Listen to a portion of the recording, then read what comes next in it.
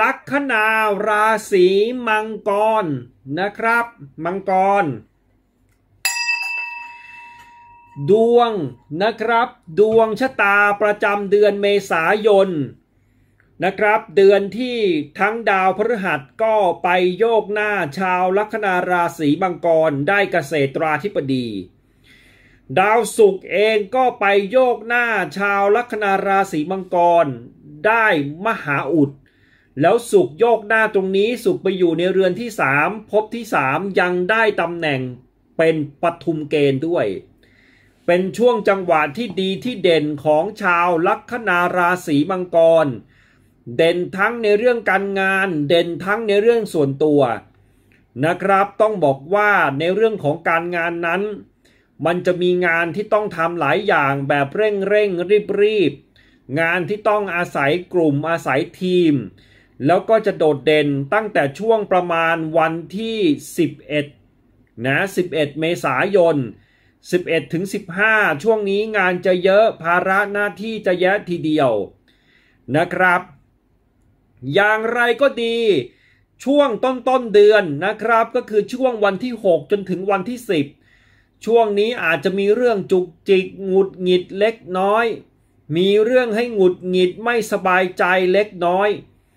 แต่อย่างไรก็ดีถือว่าในเดือนนี้เป็นเดือนแห่งความสำเร็จของชาวลัคนาราศีมังกรอีกเช่นกัน ถ้าดูในภาพโดยรวมนะ วันที่ 1 ถึงวันที่ 5 ก็ชิวๆวันที่ 6 ถึงวันที่ 10 นี่จะมีเรื่องจุกจิกหงุดหงิดอะไรเล็กๆน้อยๆเข้ามา 11 ถึง 15 การงานขยับดี มีงานที่ต้องทำต้องแก้ไข แต่ก็จะได้เงินนะครับ จะมีโชคดีจากงาน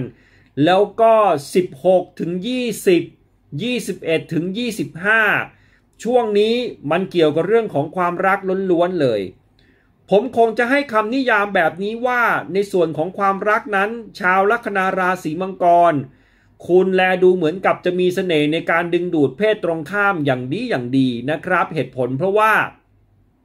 ดาวศุกร์ไปโยกหน้าทอแสงอยู่แล้วเป็นปทุมเกณฑ์ด้วย นะเป็นมหาอุดด้วยมีเสน่ห์ต่อเพศตรงข้ามอย่างมาก แต่ไอ้คำว่าเสน่ห์ตรงนี้ก็ยังไม่ได้นำมาซึ่งความสุขมาให้คุณนะครับ เพราะว่าลึกๆแล้วสาวที่ทับลักอยู่ไปโยกกับสุข มันก็ยังมีความรู้สึกไม่ได้อย่างใจอย่างที่เราต้องการทั้งหมด พูดง่ายๆ คือเนื้อหอมมีคนเข้ามาชอบเยอะ แต่ยังไม่คลิกยังไม่ถูกใจ อย่างที่เราเองจะมีความรู้สึกว่าคนคนนี้เราอยากจะคบหาเป็นจริงเป็นจัง แต่ถ้าเกิดจะคิดเรื่องของการหวานเสน่ห์แล้วแล้วก็ชาวมังกรคุณได้สิทธินั้น เดี๋ยวนี้นะครับส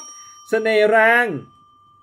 ดาวสุกไปโยกหน้าอยู่กับดาวเกตเนี่ยสเสน่ห์แรงนะครับ ส่วนคนที่มีคู่มีคนรักอยู่แล้วนะธนุไอ้มังกรปกติเนี่ยเป็นคนรักเดียวใจเดียวนะ แต่เดือนนี้ดัน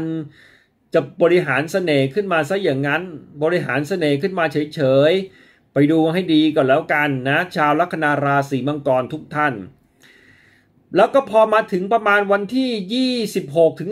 30 การงานก็ยังมีความก้าวหน้าอย่างต่อเนื่อง แล้วดูเหมือนจะก้าวหน้าดีมากด้วยในช่วง 26ถึง30 อะไรที่มีการติดต่อประสานงานกันเข้ามาในเรื่องของงานล้วนแล้วแต่จะเป็นสิ่งที่คุณ จะได้รับผลประโยชน์ มีเงินมีทองเข้ามาทั้งสิ้นนะครับ ดาวอีก 4 ดวง 5 ดวงนะครับ ไปอยู่ในเรือนพันธุนะมีอาทิตย์ พุธราหูมนุษย์ยู ก็มีความเป็นไปได้อย่างหนึ่งว่า ชาวลัคนาราศีมังกรนะครับ น่าจะมีอะไรที่ดีๆ เข้ามาจากในครอบครัวนะครับ แต่ถ้าเกิดว่าชาวลัคนาราศีมังกรนะครับที่ส่วนใหญ่แล้ว จะต้องทำงานหรือจะต้องเดินทาง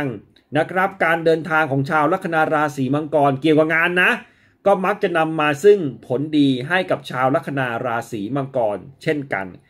นะครับเพราะงานมันเด่นอยู่แล้วล่ะดาวศุกดาวเจ้าเรือนการงานไปเป็นมหาอุดอะไปเป็นปทุมเกณฑ์อย่างเงี้ยมันจะไม่เด่นได้ยังไงล่ะนะครับเฮงแน่ๆ ชาวมังกรทุกท่านโชคดีครับ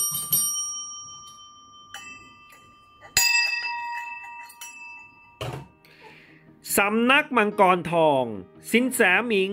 ขงเบ้งเมืองไทย กับบริการพิเศษ สักลายมือเศรษฐี